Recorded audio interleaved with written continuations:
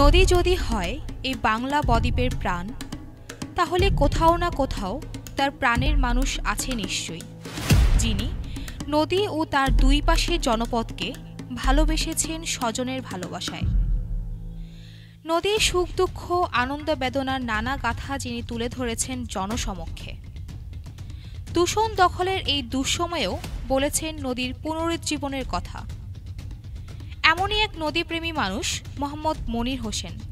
নদীর পরিবেশ, প্রতিবেশ ও তার রক্ষণাবেক্ষণের জন্য নিরলস কাজ করে যিনি পরিচিতদের কাছ থেকে খেতাব পেয়েছেন নদী যোদ্ধা হিসেবেও।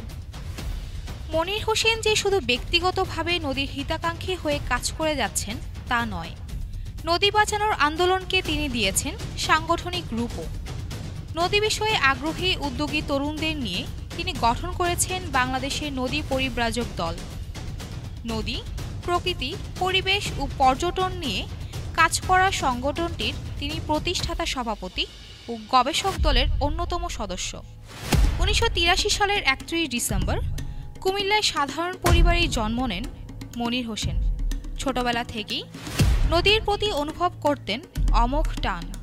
তবে দুই হাজার সালে পরিবেশ অধিদপ্তর আয়োজিত এক রচনা প্রতিযোগিতায় নদী বিষয়ক রচনা লিখতে গিয়েই জন্ম নেয় এক উপলব্ধির, যা তাকে নীরবে টেনে নিয়ে গেছে নদী বাঁচানোর আন্দোলনে। এরপর পদ্মা, মেঘনা, যমুনার কত ঢেউ চলে গেছে সাগরে, কত জোয়ার ভাটার জলে প্লাবিত হয়েছে নদীমাতৃক বাংলা। সেই সঙ্গে পাল্লা দিয়ে বেড়েছে তার নদী প্রেমও। এর মধ্যেই তরুণদের নিয়ে তিনি শুরু করেন ইয়ুথ ফর রিভার নামে এক বিশেষ ক্যাম্পেইনের। বর্তমানে এই ক্যাম্পেইনের সঙ্গে প্রায় সাড়ে চার হাজার তরুণ যুক্ত থেকে কাজ করে যাচ্ছে নদী নিয়ে। মনির হোসেন ব্যক্তিগতভাবেও দেশে ও বিদেশে প্রায় দুশো পঞ্চাশটি ছোট বড় নদী পরিদর্শন ও পর্যবেক্ষণ করেছেন। এর মধ্যে প্রায় পঞ্চাশটি নদীর নান্দনিকতা ও সংকট নিয়ে বিভিন্ন দৈনিকে আলাদাভাবে লিখেছেন ফিচার। তৈরি করেছেন অন্তত আটটি ডকুমেন্টারি কাজের স্বীকৃতিও এসেছে সে পথ ধরি নিজের নির্মিত সংখনদ দ্য আমাজন অফ বেঙ্গল প্রামাণ্যচিত্রের জন্য দু হাজার উনিশ সালে creative work for visual media ক্যাটাগরিতে জিতেছেন ইউনিসেফ বাংলাদেশের মিনা মিডিয়া অ্যাওয়ার্ড। এছাড়া সাংগঠনিক বিশেষ ভূমিকার জন্য দু হাজার ষোলো সালে পেয়েছেন কালের কণ্ঠ শুভ সংঘ শ্রেষ্ঠ সংগঠক সম্মাননা। তার উদ্যোগেই দেশে প্রথমবারের মতো অনুষ্ঠিত হয়েছে জাতীয় নদী সম্মেলন, পার্বত্য নদী সম্মেলন।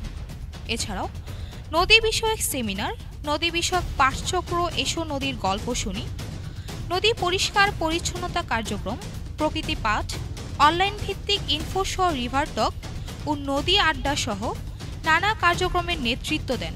দায়িত্ব পালন করেছেন বাংলাদেশ রিভার ফাউন্ডেশনের চেয়ারম্যান হিসেবে। দুই হাজার আঠারো সালে সিঙ্গাপুরে অনুষ্ঠিত সিঙ্গাপুর ইন্টারন্যাশনাল ওয়াটার উইকের ইয়াং লিডার সামিটে বাংলাদেশের হয়েও প্রতিনিধিত্ব করেছেন তিনি। জীবনানন্দ দাস যেমন বলেছিলেন, নদীর শব্দ শুনি আমি, নদী তুমি কোন কথা কও? জলপ্রেমী মনির হোসেনও ঘুমে জাগরণে শুনতে পান নদীর কুলকুল শব্দ। তাই তো বিরুদ্ধ স্রোতে দাঁড়িয়েও তিনি স্বপ্ন দেখেন এমন এক নদীমাতৃক বাংলার, যেখানে জল ও পলির আশীর্বাদে আবার জনপদ হয়ে উঠবে সুজলা, সুফলা, শস্য, শ্যামলা।